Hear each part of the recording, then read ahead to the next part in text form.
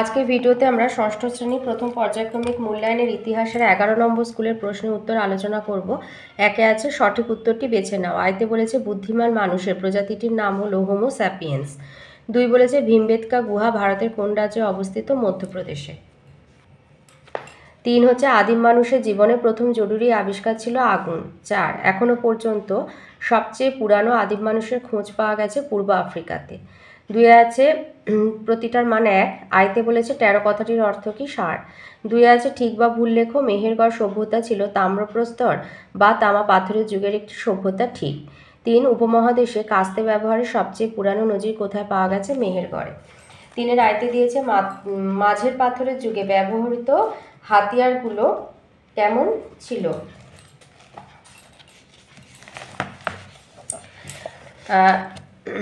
এই হচ্ছে উপমহাদেশে মাঝের পাথরের যুগ। মাঝের পাথরের যুগে আরও উন্নত হাতিয়ার বানানো হতে থাকে। এই সময় ছুরিগুলো আগের থেকে অনেক বেশি ধারালো আর ছোটো হয়ে গেছিল, তাই সেগুলোকে ছোট পাথরের হাতিয়ার বলা হয়। আনুমানিক খ্রিস্টপূর্ব দশ হাজার অব্দ নাগাদ উপমহাদেশের আবহাওয়া গরম হতে শুরু করে। ফলে আগের থেকে গরম আবহাওয়া মানুষের থাকার জন্য ভালো পরিবেশ তৈরি করেছিল। মাঝের পাথরের যুগে ছোট হাতিয়ারগুলি গাছের ডালের সঙ্গে জুড়ে বা গেঁথে নেওয়া হতো, তার ফলে হাতিয়ার ধরতে সুবিধা হতো। আচ্ছা এগুলো দু নম্বরের আছে, তো একটুখানি লিখতে হবে।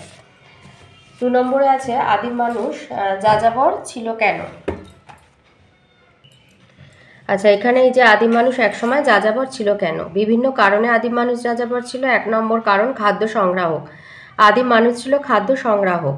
গাছের ফলমূল সংগ্রহ করে এবং শিকার করে তারা খাদ্যের চাহিদা মেটাত। দুই হচ্ছে বাসস্থান। অন্ধকার স্যাঁতস্যাঁতে পাহাড়ের গুহা আদিম মানুষের প্রথম বাসস্থান ছিল। জনসংখ্যা বেড়ে গেলে এই রকম বাসস্থানের খোঁজে তারা ঘুরে বেড়াতো। খাবার ও বাসস্থানের জন্যই আদিম মানুষ যাযাবর ছিল। চারের আয়তে আছে টিকা লেখো ভীমবেদকা। মধ্যপ্রদেশের ভোপাল থেকে কিছুটা দূরে বিন্ধু পর্বতের গা ঘেঁষে নির্জন জঙ্গল। সেখানে উনিশশো সাতান্ন খ্রিস্টাব্দে ভীমবেদকায় বেশ কিছু গুহার খোঁজ পাওয়া যায়। ওই গুহাগুলোতে পুরাতন পাথরের যুগ থেকে আদিম মানুষেরা থাকতে শুরু করে। গুহার দেয়ালে তাদের আঁকা ছবি পাওয়া গেছে। প্রায় সবই শিকারের দৃশ্য। নানা রকম বন্য পশুর ছবি রয়েছে। তাছাড়া পাখি, মাছ, কাঠবেড়ালির মতো প্রাণীরও ছবিও দেখা যায়। এছাড়া দেখা যায় মানুষ একা অথবা দল বেঁধে শিকার করছে। তাদের কারও কারও মুখে মুখোশ, হাতে পায়ে গয়না। অনেক সময় মানুষের সঙ্গে কুকুরকে দেখা যায়। ছবিগুলিতে সবুজ আর হলুদ রঙের ব্যবহার বেশি হলেও হলেও বেশি দেখা যায় সাদা এবং লাল রং। সবুজ আর হলুদ রঙের ব্যবহার হলেও বেশি দেখা যায় সাদা এবং লাল রং। চারের দুয়েতে আছে আগুন জ্বালাতে শেখার পর আদিম মানুষের কি কি সুবিধা হয়েছিল?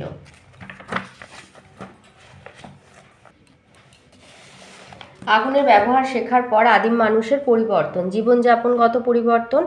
আগুনের ব্যবহার শেখার পর আদিম মানুষের জীবনযাপনের ক্ষেত্রে যেসব পরিবর্তন এসেছিল তা হলো, এক, শীতের হাত থেকে রক্ষা। আদিম মানুষকে প্রথম দিকে প্রচণ্ড শীতের মধ্যে কষ্ট পেতে হতো। পরে আগুনের ব্যবহার শুরু হলে মানুষ আগুন জেলে প্রচণ্ড শীতের হাত থেকে নিজেকে বাঁচাতে শিখেছিল। দুই হলো আত্মরক্ষা। আদিম মানুষ বন্য জন্তুর হঠাৎ আক্রমণে মারা যেত।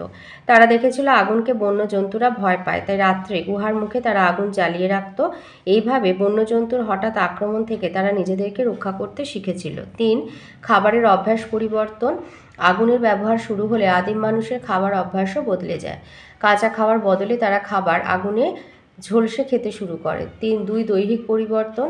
ঝলসানো নরম মাংস খেতে আদিম মানুষের চোয়াল ও দাঁতের জোর কম লাগতো, তাই তাদের চোয়াল সরু হয়ে এলো এবং সামনের ধারালো আর উঁচু দাঁত ছোট হয়ে গেল।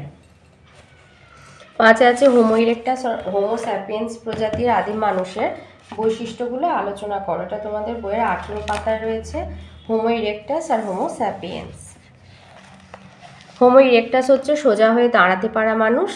এক হচ্ছে এদের বৈশিষ্ট্য হলো এরা আনুমানিক কুড়ি লক্ষ থেকে তিন লক্ষ পঞ্চাশ বছর আগেকার মানুষ।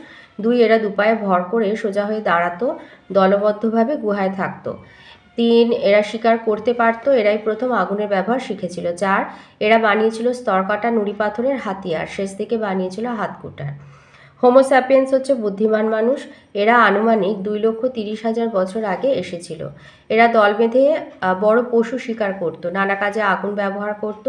পশুর মাংস পুড়িয়ে খেত, পশুর চামড়া পরত। ছোট, তীক্ষ্ণ আর ধারালো পাথরের অস্ত্র তৈরি করতে শিখেছিল। এরা বর্ষা জাতীয় পাথরের অস্ত্র বানাতে পারত। তো এই ছিল আজকের আমাদের ষষ্ঠ শ্রেণি প্রথম পর্যায়ক্রমিক মূল্যায়নের ইতিহাসের এগারো নম্বর স্কুলের প্রশ্নের উত্তরগুলি।